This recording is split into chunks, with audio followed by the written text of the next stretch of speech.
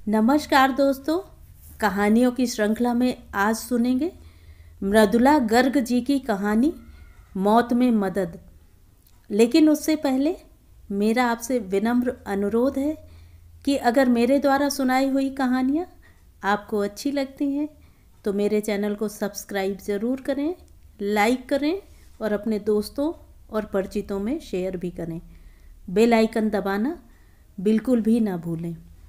मृदुला जी की कहानियाँ ऐसी हैं कि पाठक अपने जीवन और व्यक्तित्व से नितांत भिन्न, अब तक अनजान चेहरों को देख पहले यकीन नहीं करता। झुंझलाता है, पर आखिरकार रोमांचित होकर कहानी कई बार पढ़ जाता है। तो आइए सुनते हैं उनकी सुप्रसिद्ध कहानी, मौत में मदद। तीन दिन से बुद्धन का पता नहीं है। आज अट्ठाईस तारीख हो चली और अगली दो को इतनी बड़ी पार्टी है। चालीस पचास लोगों की। आने वाले सभी बड़े लोग हैं। दुर्गापुर स्टील मिल के जनरल मैनेजर, रेलवे के बड़े अफसर, नामी गिरामी वकील और डॉक्टर। एक हफ़्ता पहले बुद्धन को ताकीद कर दी थी कि पूरे बगीचे की अच्छी तरह सफ़ाई करके घास तरतीब से काट दे। समझा दिया था कि सब काम दो तारीख से पहले हो जाना चाहिए और ये जनाब हैं कि तीन दिन से गायब हैं। इन लोगों पर भरोसा करना बेवकूफ़ी है। वह सोच रही थी कि नौकर ने आकर कहा बुद्धन आया है। अब आया है, वह बुदबुदाई। शाम के छः बजने को आए, अब क्या खाक काम होगा? बात क्या है बुद्धन? इतने दिन कहाँ थे? कहते कहते वह बाहर निकली तो पाया, बुद्धन अपनी कह रहा है। छेले भीषण असुस्थ, टाका दाओ माँ। क्या हुआ लड़के को? उसने पूछा।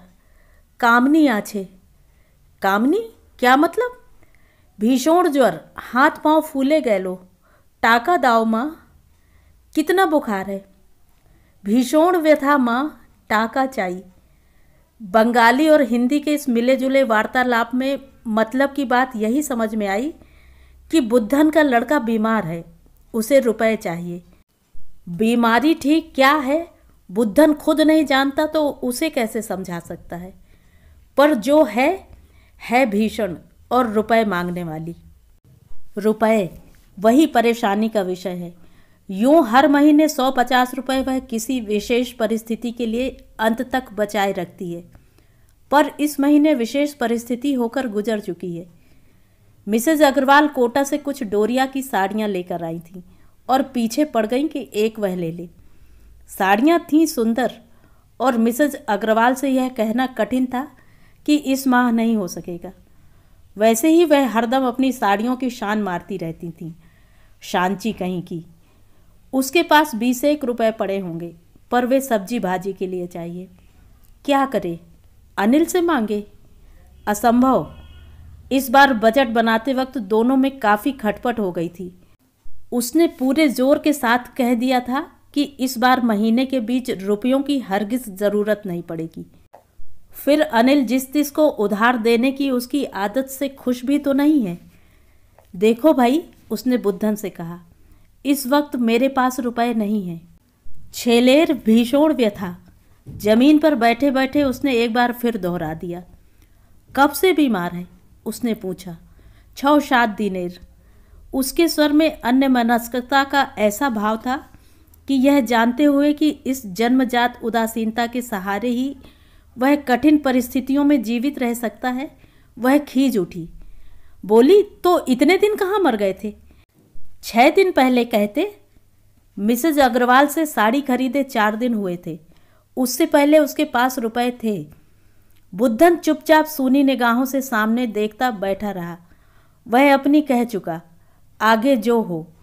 विधि से लड़ने का काम उसका नहीं है। निष्क्रिय स्वीकृति के इस भाव ने उसे और खिंचा दिया। कहा ना, इस वक्त रुपए नहीं है, उसने कहा। वह वैसे ही चुपचाप बैठा रहा। अजीब आदमी है। यहाँ कोई खान खुद रही है जो मांगते ही रुपए हाजिर हो जाएँगे?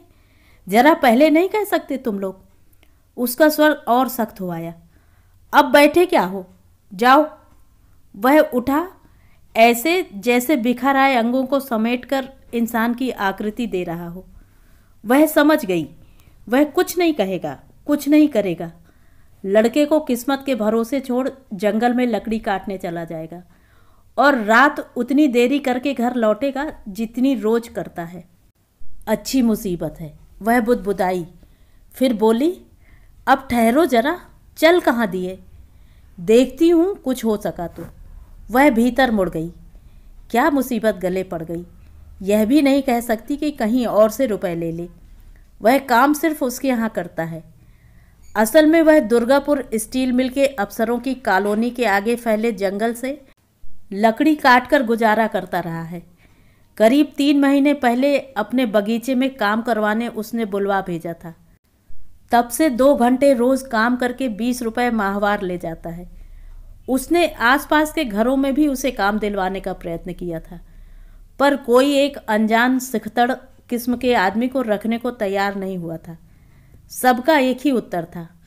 इन लोगों का क्या भरोसा? नए आदमी को माली का काम सिखाते अपना माथा खराब हो जाएगा। ना बाबा, ना, हमसे नहीं होगा। लगता है वह बुड़बुड़ाई।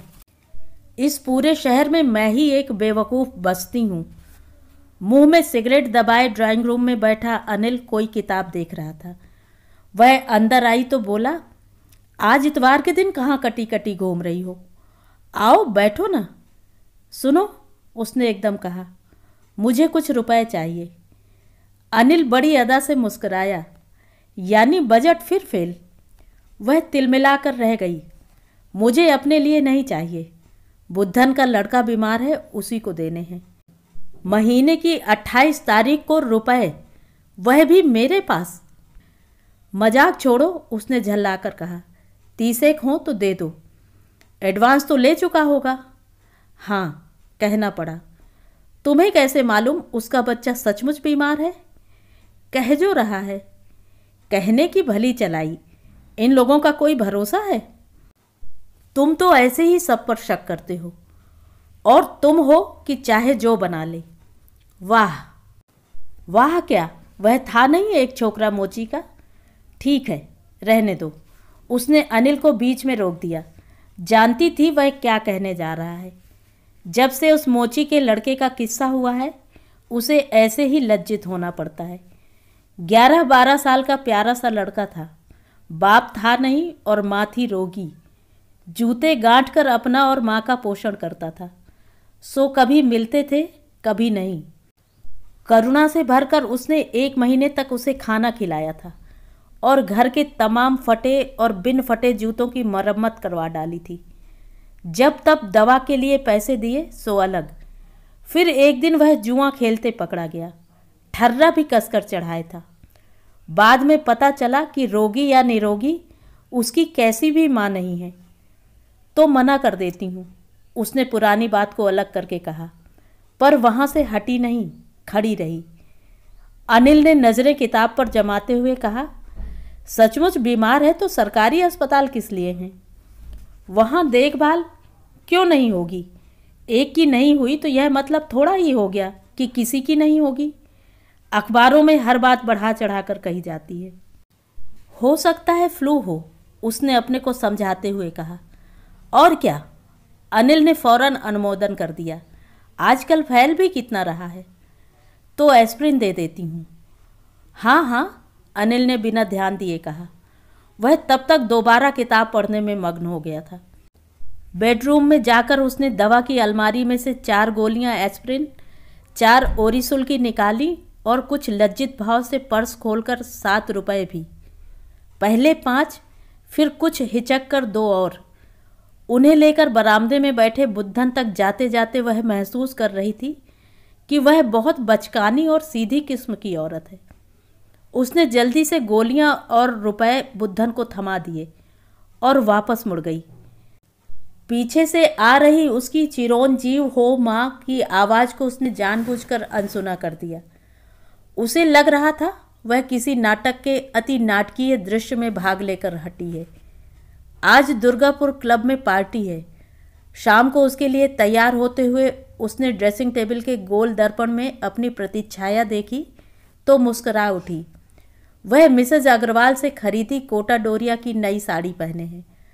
शुभ्र श्वेत साड़ी पर फिरोजी बॉर्डर, गले में सफ़ेद मोतियों की माला, कानों में एक एक बड़ा श्वेत मोती, गोल फिरोजी बिंदी, बाहर बादल और हल्की बूंदा बांदी। मधुर समरसता से भरा है सब कुछ। आज की पार्टी खूब रहेगी। दो तारीख वाली पार्टी पर भी यही रंग पहनूँगी, उसने सोचा। बस दो दिन और हैं। हरी मखमली घास पर जहाँ तहाँ छिपे नीले बल्ब और वैसी ही स्वप्निल महीन नीली साड़ी। तभी अनिल ने आकर गंधराज के दो फूल उसके जूड़े में लगा दिए। बोला, पूरी बात अब बनी। उसे गंधराज पसंद नहीं। न जाने क्यों उसकी तीव्र मीठी गंध में मृत्यु की बास आती है। एक बार सोचा, जूड़े से निकाल दे। पर हाथ बालों तक जाकर रुक गए। बहुत कभी कभी अनिल ऐसी रोमांटिक हरकत करता है। फूल वहीं छोड़ वह धीमे से मुस्कुरा दी तैयार होकर बाहर निकली तो बुद्धन सामने पड़ गया। अच्छा हुआ बुद्धन, तुम आ गए, उसने कहा। लॉन की घास तरतीब से काट दो।